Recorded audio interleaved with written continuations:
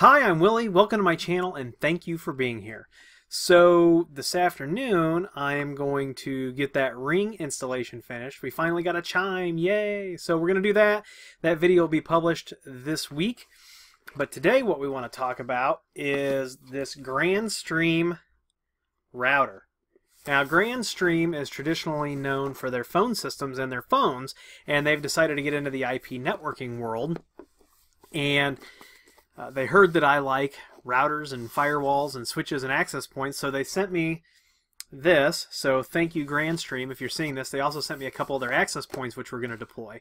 And their access points are kind of neat because they can act as the controller themselves, or this guy can be the controller. Now, the only downside to is to uh, the access points that I found at this point is that whichever way you you uh, set them up to be a controller, that's that's it. Uh, you can't change it, otherwise you have to factory default. Anyway, back to this. This is the GWN 7000 Enterprise Multi-WAN Gigabit VPN router. So before we open it and do our measurements, let's uh, go over to the Grandstream site. And as you can see, it's over here on Amazon as well. I'll put a link to that down in the description. Just their kind of quick overview is that it has 7 gigabit ports, 2 WAN plus 5 LAN. It's got hardware accelerated VPN including PPTP, L2TP, IPsec, and OpenVPN. Now, I don't know that that OpenVPN is going to be hardware accelerated. It could be. I don't know, but we're gonna, you know, we're gonna check it out. This we're adding this to the fold. We're adding this to the lab, so we're gonna be able to check all these things out. It has an embedded controller that can manage 300 plus of their access points multi-WAN ports with load balancing and failover, intuitive web interface to centrally centrally monitor provision the entire network, 1 million PPS and 10 gigabit aggregate switching power, uh, rich peripheral support, printer, NAS, file server through the USB ports, rich firewall features including NAT, DMZ, port forwarding, SPI, and UPnP. They've got some nice little icons down here, VPN, built-in provisioning, everything we just kind of talked about. And uh, this has not been out of the box. I've actually not opened this.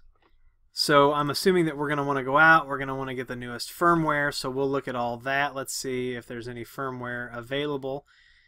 Uh, so we went to resources. Uh, here we go. Firmware list, maybe. Because I was uh, on their community site and I've signed up and I'm going to start participating over there. Um, I saw that they did have some new firmware, so it looks like the latest is 4 dot or 1.0.4.23. So we're going to go ahead and snag that guy. And he's about 45 megs. But while that's downloading, we'll go ahead and we'll open this box. I'll show you what's in the box and then we will use the official H5 technology ruler. Thank you, Dennis. And uh, we'll get down to business here. So here's the box. The box itself, when you get it, is almost exactly 12 inches by uh, 2 inches by let's see about six and a half. So I don't know how many Edge Router X's that equates to, but all right, we're going to go ahead and open the box here. Actually, going to put this guy back here for a second. We open it up. We have a quick start guide. We love our quick start guides. We have a copyright notice and warranty disclaimer, and then they also have the GNU public license in here for all the software that they use on this. That is that is pretty nifty. So quick start guide. Then we've got a power cube here, plastic bags. Man, just get rid of the plastic bags. And this looks like it's a 12 volt 2 amp output on this. And just to give you an idea, this power brick is uh, it's about three inches tall, and it's about uh, inch and a quarter wide there. So, yeah, about three, and then an inch and a quarter, and then a little over an inch and a half wide. It's got a nice long cord on it, probably a six foot cord at least. And what else is in the box? So then we have the router itself. We'll get to that here in a second. I want to see what else it comes with. Nothing, just a lot of a lot of cardboard. So we'll close that up. And now we have the router itself. Hmm, I love that new electronic smell. I love it. Alright, so here's the router itself, and man, it is it is pretty sharp looking. Uh, it looks like like a little appliance, um, you know, something that you would find sticking out by your TV. So you can see it's vented on that side. This is the front. It's vented on this side. They have uh, warranty stickers on the bottom. Now it comes with the feet already installed, but then it also has the holes here where we can go ahead and mount this guy to a wall. And then on the back, it looks like we've got uh, two USB ports here. We've got our two WAN ports. We got a net and then five LANs, and it looks like then there's a PoE. Got a reset and power down here as well. So we're going to figure out what that LAN 1 slash PoE is all about, and the net, and then the two the two WANs. So this has got uh, quite a few ports on it. Physical measurements on this guy. The unit is just a smidge under 8 inches wide, about an inch and a quarter tall, and about five and a half inches deep. I mean, overall, it's a really nice looking unit, and then they do provide on the top which I was like, oh my gosh, I scratched it, but I didn't. They've got this film so that you don't scratch it. So that's that's kind of brilliant. So we're gonna set this guy back here so you can see. And then we're gonna get the quick start guide out. The quick start guide is like 28 pages. Oh, but there's multiple. Those there is multiple languages. So what we are looking for is let's see one two uh, three three pages. So the first three pages of the Grandstream QSG that is all that we're looking for. And uh, let's see what it says here real quick. It they talk about everything that uh, they did on the website right in the beginning. You can see this here so you've got your overview again, you got some precautions, package contents. So it came with a router, came with the 12 volt power adapter, came with the quick installation guide and the GPL statement. So we received everything we were supposed to. Now it says that the NAT, the uh, net port is gigabit, can be configured as WAN, LAN, or voice over IP. So it is a that that port apparently has some flex. WAN 1 and 2 are supposedly dedicated for WAN. LAN 2, 3, and 4 are just LAN ports that are gigabit. LAN 1 slash PoE, ooh, it supports PoE plus out. So that is fantastic. Is it out, or does it mean that we can power this with PoE plus? Hmm. Don't know. I'm a, I've got to assume that it's out. Tells us how far apart our holes are for wall mounting.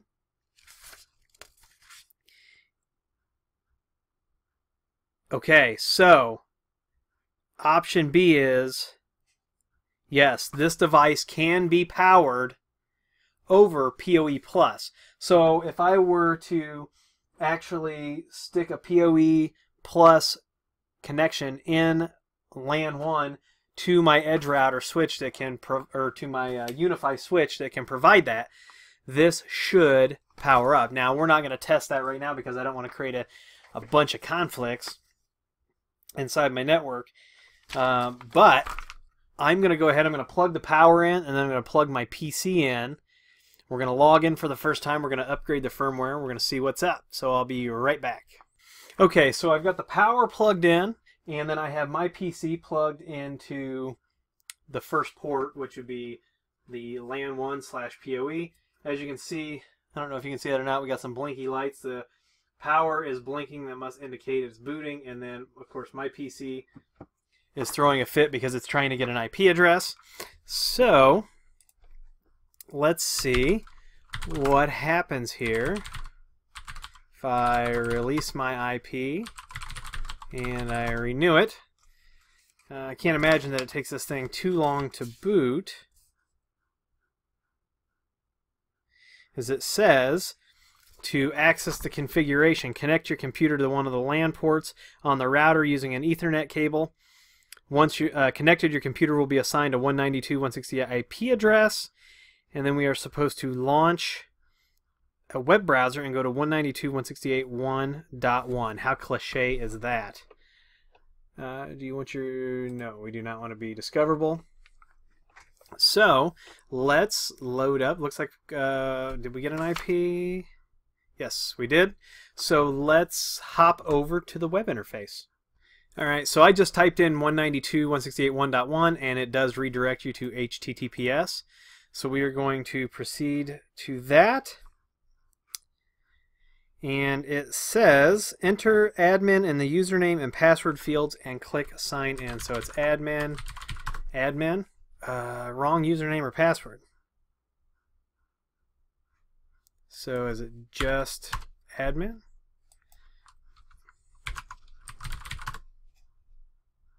Interesting. So it is telling us wrong username and password. Enter admin in the username and password field and then click sign in. So right out of the box I have a failure and that's not good.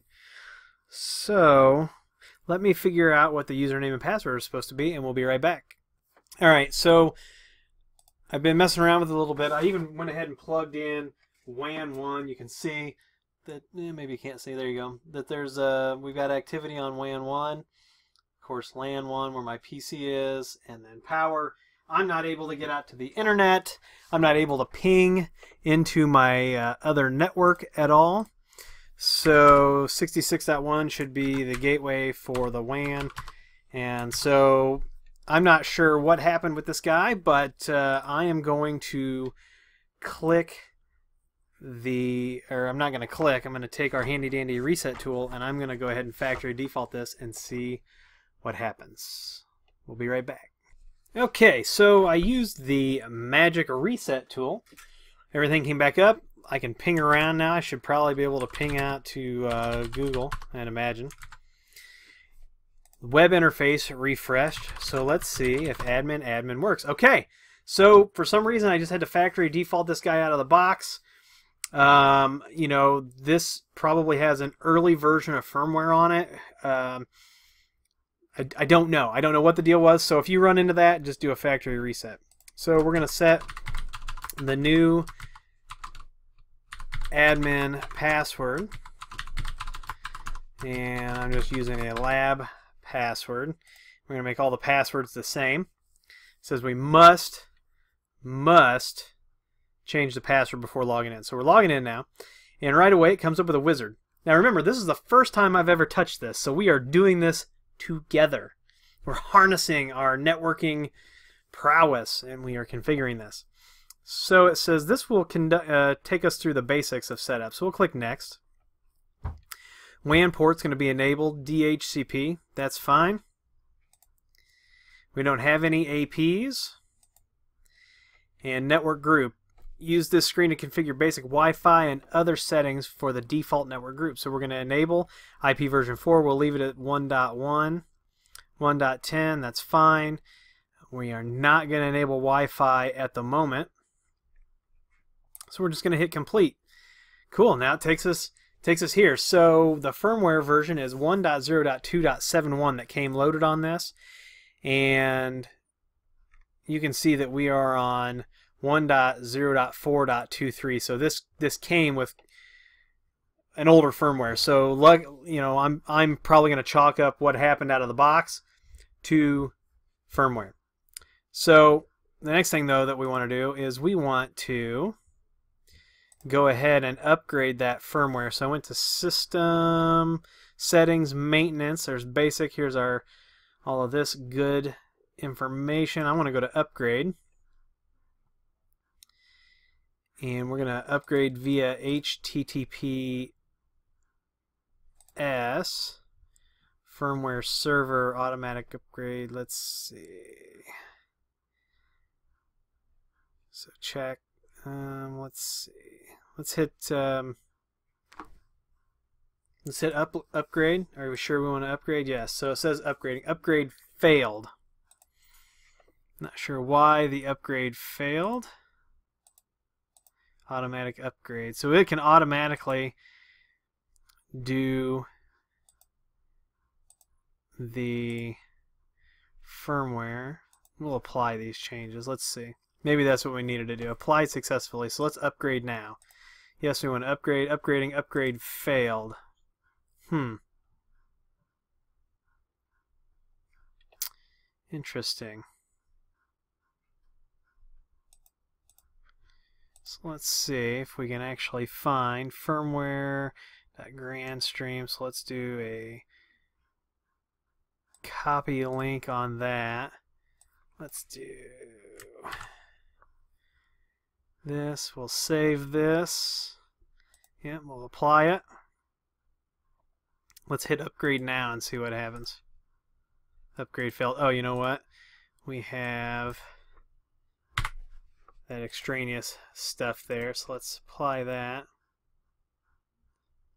And hit upgrade. Yes, we want to upgrade. Upgrading. Upgrade did not fail this time. Perfect. So we just had to have the right firmware server. So now the device is going out and it is upgrading.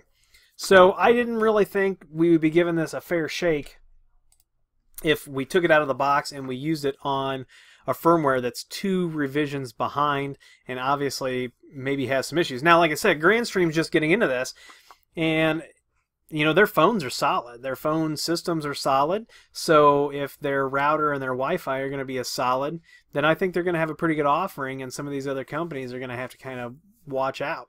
You know, and I think they all kind of beg, borrow, and steal from each other anyway. It's just like artists.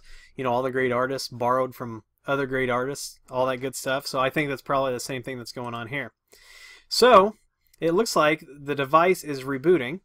You may relog in by clicking on the link below two minutes after the reboot. So it's 144, so I'm going to pause this. I'm going to come back at 146. Okay, our login page reloaded here. So we're going to go ahead and put our admin username and password in. And it's loading. And let's see. Wow, there's uh, some new options. Definitely this web WAN access I don't believe was, was there before. And it looks like this all is the same, so that's good. Access, this is where we change the passwords. Here's syslog server and log server. So that's that's awesome. They've got comprehensive logging right out of the gate here. All right, so let's go to our overview. So there's zero APs. There's one client, and the client is wired. This is actually a pretty nice. Look at this. Uh, we're gonna have to hook an access point to this and and get this guy kind of filled out because this this is kind of nice. This dashboard right here, I like this. I really do like it. All right, so for router. Let's see, WAN status, WAN's enabled. Here's our IP address. This is how long is long it has been up. Looks like if we start generating some application traffic, we may be able to see something going on. And they actually call it DPI. So we can enable application tracking. Improve DPI performance by rebooting your router after DPI is enabled. You can choose which interface you're going to track it on. That's cool ports. So WAN port 1 DHCP, WAN port 2 not enabled, additional WAN port. We can add an additional WAN port. Looks like we've got, oh, here you go for you IP version 6 folks. Here is the 6 to 4 tunneling. LAN port, enable LAN 1, which is that net port, so that's that extra port. Global settings, multi-WAN. Here are options. There's either load balance plus failover or failover. And look at this, we can do port mirroring. So if this doesn't have any IPS, IDS stuff built into it, we can go ahead and mirror these Ethernet ports. We've got static routes, and here's our actual route table. So that's that's pretty awesome. IP version 6 routes, the 4 routes again. Okay, quality of service. So looks like it's got upstream quality of service. So we can do WAN 1, we can add interface. That's nice. There's a policer. So, all right, look at that. That is fantastic. And then it's got a smart queue. That's pretty cool. I like this so far. Dynamic DNS support, so service name. That's pretty standard fodder right there. Of course, then we have the DPI. So we'll uh, go to access points. We don't have any access points yet. Now we can take a look at the clients. And what can we do with the clients here? We can edit. We can block. So if we want to block a client, we just come in here and click that and it will block the client. So we can come in here and look. This is the desktop I'm currently on. There are no bandwidth rules, but check this out. We can come in here and we can add bandwidth rules per user. And we can give this a name and give it a fixed IP. So we can do DHCP reservation right there. Client access. So this is the global blacklist. Not sure what we do with this yet. Here's a time policy, so we can do time, and then we can look at our banned clients. That's pretty cool. Here's our VPN. So here's our Open VPN server. Here's our Open VPN client. Pretty standard. Here's our L2TP IPsec. So we can add. We can do remote server username and password, pre-shared pre-shared key. So you know what this means. This means that we are absolutely going to have to do a video where we connect the Grandstream to the Ubiquiti devices. We got to do it. And then PPTP, we'll just pretend that PPTP is not even there. Uh, under our firewall basic settings, we've got uh, SYN flood protection, port forwarding, DMZ, intergroup traffic. So it looks like we've got policies here, UPnP settings and status. Here's traffic rules. Okay, so this thing, yeah, is starting to, it looks like it's got a pretty comprehensive set. There's input, output, forwarding. So if we add a rule, oh yeah, oh, it's got the, the uh, week of the day scheduler, the time, firewall action. I'm digging it. We're really going to have to get into this. Advanced firewall. Here's our SNAT, our DNAT, so we can do that. So it looks like it's got IP masquerading on by default, but we can come in here and do SNAT and DNAT. You know, the one thing that I didn't check on the port, on the WAN, WAN 1, if we do a static IP, oh, look, here it is. We can do additional IP version 4. So this thing right out of the box can do all of that stuff. So we can have um, multiple IPs on the WAN. I love it. All right, so now we've got captive portal. So it looks like we're gonna. This has got a captive portal built directly into it. looks like there's some images already on the device. I'd imagine that the storage is built in, so we could do no authentication. So this is pretty neat. We're gonna have to play with all these things now. Here's our bandwidth rules and this is either SSID, MAC address, or IP address. I like that. All right, net network group. So group zero, WAN membership, WAN port one, LAN membership, VLAN ID. system settings, and we kind of went over this. We've got our upgrade, our access, our log server. Here's our debugging information. So it looks like we can do packet captures. That's awesome. Core files, ping, traceroute, syslog. Here's all of our syslog information. Here's our NAT table. This is absolutely fantastic. We've got uh, email notifications, so we can set this up and get get emailed from the system. So what do you want to get emailed about? AP offline, administrator password change. I like that. We can control the LEDs. Oh, look at this. Looks like we've got a certificate manager built right in. How awesome is that? Right through right through the the web UI, they've got the cert manager. Here's file sharing, which we don't have any USBs plugged in. We've got SNMP down here. We've got our user manager. So we don't have any users added yet. Here's about. So it talks, here's the GN, GNU license. They give uh, uh, credit to all of those that they are supposed to. Here's our alerting and our notification. This is pretty cool. This is absolutely cool. There's one more thing that I want to look at, and that's on our LAN port. Let's see. Maybe. Let's see. What I don't see, or what I didn't see, was the VLAN setup.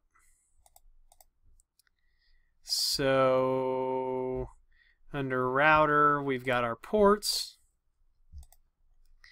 LAN port. But what I don't see is where we can set up the VLANs. Maybe I maybe I missed it here. There's WAN 1. Here's tunnel. Here's LAN port, global settings, port mirroring. Now am I missing a place where we can actually, I mean there's uh, static routes, so we know we can do static routes. Basic firewall rules. So one thing I don't see is the VLANs, and maybe maybe that doesn't exist, but it should definitely exist somewhere. All right, I didn't want to bore you uh, with me poking around while I was doing that, but it appears that to create other networks, we have to come into the network group and go to add, and then under basic, we have this VLAN. Is it a VLAN? And what's the VLAN ID? So this is where we can start adding VLAN. So if we want to add VLAN 2, we'll just call this VLAN 2 we'll enable it. we'll let it use WLAN, I'm sorry, or WAN port 1. It'll be under LAN 0 and it will be IP version 4. So there's the address and we'll enable DHCP and we'll just kind of leave this all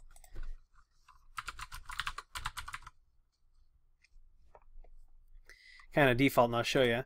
If we click save, so now we've got VLAN 2. It's a member of LAN 0 and it is VLAN ID number 2. So and look at this. It shows us all of the different services that are on this box that are getting restarted. I'm fairly certain this thing is running Linux under the hood. But that's it. That's the the Grandstream GWN 7000. We took it out of the box. We plugged it in. I'm going to enjoy having this guy in the lab. So we're going to get uh, we're going to get more into this. I'm going to put the uh, my affiliate link down there. So if you want to buy one and mess around with it, if you know, I, I get a lot of uh, email. You know, people are like, ah, uh, you know, this brand doesn't always meet my needs or what I want to do. So that's why we check out all these brands. You know, so we we use Grandstream now. We're going to use MikroTik. We use Ubiquiti. We use whatever brands people want. To me, a network is a network is a network is a network. It's about how these devices handle it and about the configuration and making sure things are kind of actually standards based and things like that. But I am going to enjoy this GWN 7000, so I have to tell the guys out, uh, guys and gals out at Grandstream, thank you again for sending this over. And we're going to do more than one video on this. We're going to get into this. Like I said, we're going to do the VPN video. We're going to do all that good stuff. So if you like this video, please give me a thumbs up. Please subscribe. Please comment and share. Please follow me on Twitter and Instagram. Please use those Amazon affiliate links down there in the description. And as always, we'll see you in the next video.